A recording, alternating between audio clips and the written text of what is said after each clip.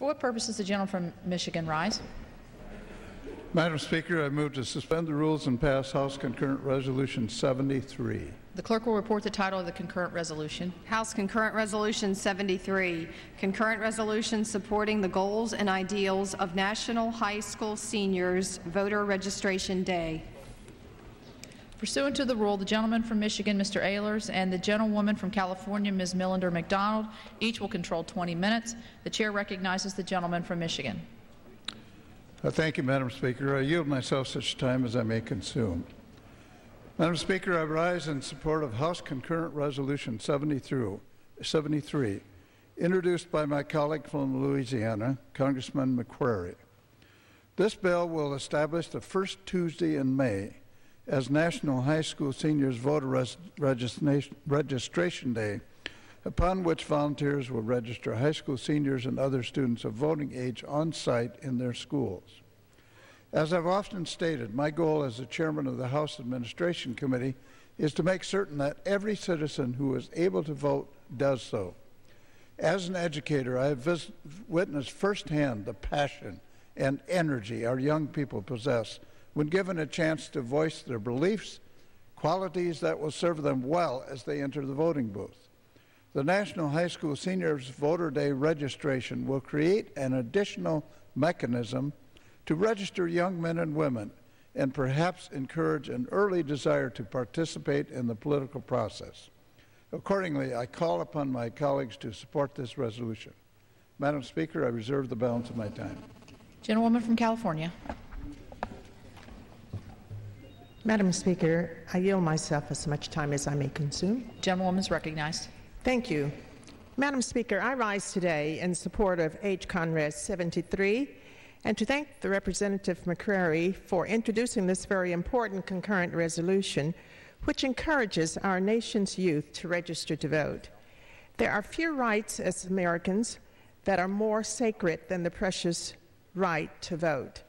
Discussing this resolution today gives all of us in Congress the opportunity to express our support for the goals set forth by the great state of Louisiana to provide the opportunity for all high school seniors to register to vote at school and to encourage their participation in the political process. Madam Speaker, you and I and many members very frequently visit our high schools and speak with our students. And it is so important for the high school seniors to register to vote. A lot of them are very much interested in what goes on in this House, and it is important that we continue to engage in dialogue with them so that they will be participants, active participants in this political process. In the spring session of 2002, the Louisiana legislature ratified House Concurrent Resolution 20, declaring the first Tuesday in May as Louisiana High School Seniors Voting Registration Day. This resolution encourages students to participate in our political process and in making democracy work. In my home state of California, the legislature passed the Student Voting Registration Act of 2003, which gives the Secretary of State the power to annually provide every high school, community college, and California State University and the University of California Systems campuses with voter registration forms to expand the number of youth participating in the voting process. The goal of California's law is to ensure that every high school and college student receives a voter registration card with his or her diploma. California is achieving its goal by providing voter registration forms at the start of the school year, including voter registration forms with orientation materials, placing voter res- registration forms at central locations, and including voter registration forms with graduation materials. I am so pleased and so proud of the state of California for expanding this type of service to our high school students. And I hope that all states follow these models to enfranchise all of our nation's youth. I hope that this resolution on the floor today will encourage our youth to participate in our democracy not only by registering to vote and voting, but by becoming poll workers To facilitate youth involvement in our elections, this summer I offered an amendment to H.R. 5576, the Transportation Treasury HUD Appropriations Bill, to double the funding to the Election Assistance Commission to administer the College Poll Workers Grant Program. This amendment was accepted to the bill without objection. I realize that the resolution under consideration today only speaks to high school students, but it highlights an important first step in increasing youth civic engagement and strengthening American democracy. I support this resolution and the continued goals and ideals of National High School Seniors Voter Registration Day and encourage all eligible students not only to register to vote, but to exercise that franchise as well. And I res- reserve the balance of my time. Gentleman from Michigan. Madam Speaker, I am very pleased to yield as much time as he may consume to the sponsor of the resolution, Mr. McCrery of Louisiana. Gentleman from Louisiana is recognized. Madam Speaker, uh, it's a pleasure to be on the floor today to support this resolution, and I thank uh, the chairman and ranking member of the uh, committee for bringing this to the floor today. The resolution actually encourages the uh, Congress to support the goals and ideals of National High School Seniors Voter Registration Day. Now, this is a program that was actually started in my hometown of Shreveport, Louisiana, back in 1996 and the results have been uh, indeed noteworthy.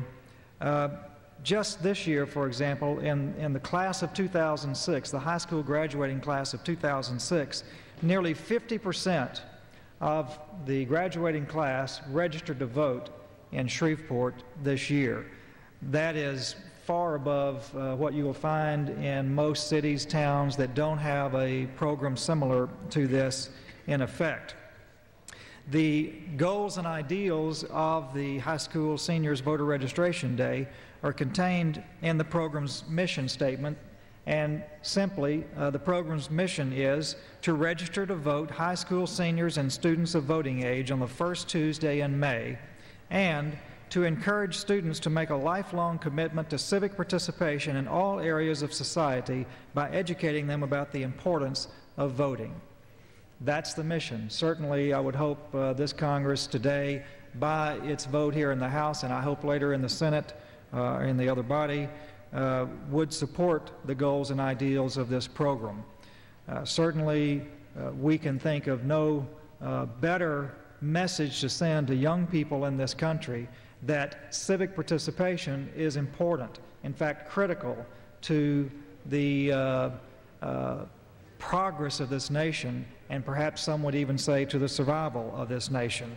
So I'm pleased uh, to be able to present this resolution today uh, endorsing a program that, that sprang up in my hometown, now has spread across the state of Louisiana, and we hope will spread across the nation. I urge its adoption. Gentlewoman from California. Thank you, Madam Speaker. I applaud the gentleman from Louisiana for this very um, interesting and important resolution. I support the resolution, and I have no further speakers. I yield back the balance of my time. Gentlewoman yields back the balance of her time. Gentleman from Michigan. Madam Speaker, I ask unanimous consent that all members have five legislative days in which to revise and extend the remarks and to include extraneous material on the subject of the bill. Without objection.